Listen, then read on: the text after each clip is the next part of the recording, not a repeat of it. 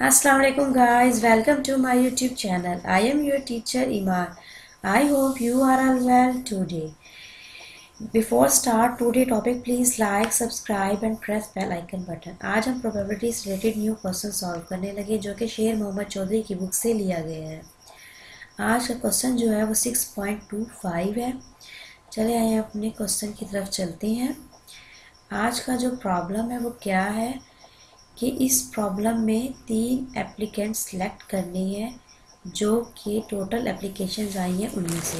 अब total applications कितनी आई हैं? टेन आई हैं। टेन एप्लीकेशंस में से सिक्स क्या हैं। गर्ल्स हैं और फोर क्या है। बॉयज़ हैं। अब टोटल कितने हो गए? टेन अब इन टेन एप्लीकेंट्स में से थ्री एप्लीकेंट्स सेलेक्ट करने हैं। अब हमने प्रोबेबिलिटी फाइंड क्या करनी है कि जो तीनों के तीनों एप्लीकेंट सेलेक्ट हुए हैं, वो तीनों क्या हैं? बॉयज़ ठीक है? या हमारी जो सेकंड इवेंट है वो क्या है कि तीनों के तीनों क्या होने चाहिए? गर्ल्स और जो हमारी थर्ड इवेंट होगा वो क्या होगा कि एट लीस्ट एक वाई तो होना ही चाहिए।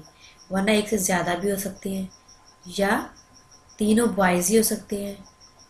ठीक है गाइस क्वेश्चन उम्मीद है कि आपको बड़े अच्छे से समझ में आया है। अब हम इसके सोल्यूशन की तरफ़ चलते हैं। इसे कैसे सॉल्व करने हैं हमने? और जैसे मैंने क्वेश्चन को सॉल्व करना है, आपने अपने एग्ज़ाम में एज इट इज़ इस पैटर्न के मुताबिक क्वेश्चन को सॉल्व करना है। सबसे पहले हम राइट करेंगे नंबर ऑफ़ बॉयज़ जो कि हमारे कितने फोर नंबर ऑफ़ गर्ल्स कितनी है? सिक्स और टोटल एप्लीकेंट्स हमारे पास कितने हो गए? Ten six plus four is equal to ten अब हमने कितने एप्लीकेंट्स सेलेक्ट करने थे टोटल थ्री एप्लीकेंट्स सेलेक्ट करने थे। तो हम क्या राइट करेंगे? Three applicants are selected randomly from the total applicants तो अब हमने क्या लिखनी है? पहले अपनी सैंपल स्पेस लिखनी है। Number of S is equal to ten combination three जब हम टेन कम्बिनेशन थ्री को ओपन करेंगे तो इज़ इक्वल टू क्या होगा? वन ट्वेंटी अब हमारा फ़र्स्ट इवेंट क्या है? A B the event that all girls selected कि तीनों की तीनों क्या होनी चाहिए? गर्ल्स होनी चाहिए। चाहिए गर्ल्स हमारे पास कितनी है? टोटल सिक्स तो सिक्स में से हम तीनों की तीनों गर्ल्स सेलेक्ट हुए थे। ऑफ़ कोर्स अब हमारे पास कोई भी बॉय सेलेक्ट नहीं कर सकते। जब हम इवेंट ए को सॉल्व करेंगे तो हमारे पास रिज़ल्ट क्या आएगा? Number of A over number of S यानी कि favourable cases over total possible outcome is equal to to twenty over one twenty is equal to one over six अब हम इसके बाद सॉल्व करेंगे इवेंट बी और हमारा इवेंट बी क्या है? कि B B the event that all boys selected के सारे के सारे बॉयज़ सेलेक्ट होने चाहिए। गर्ल्स कोई भी सिलेक्ट ना हो। तो हमारे टोटल बॉयज़ कितने हैं?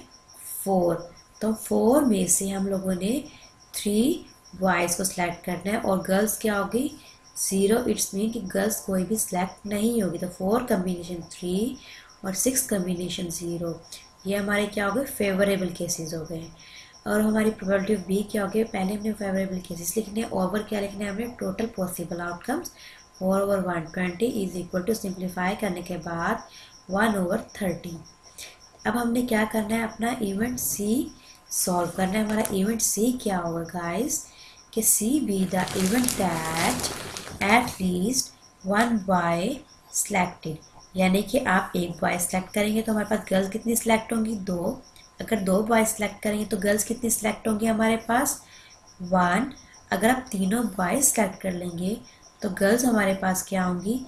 ज़ीरो तो हम इसे कैसे राइट करेंगे कि four combination one six combination two plus four combination two six combination one फिर फोर कम्बिनेशन थ्री और सिक्स कम्बिनेशन क्या होगा?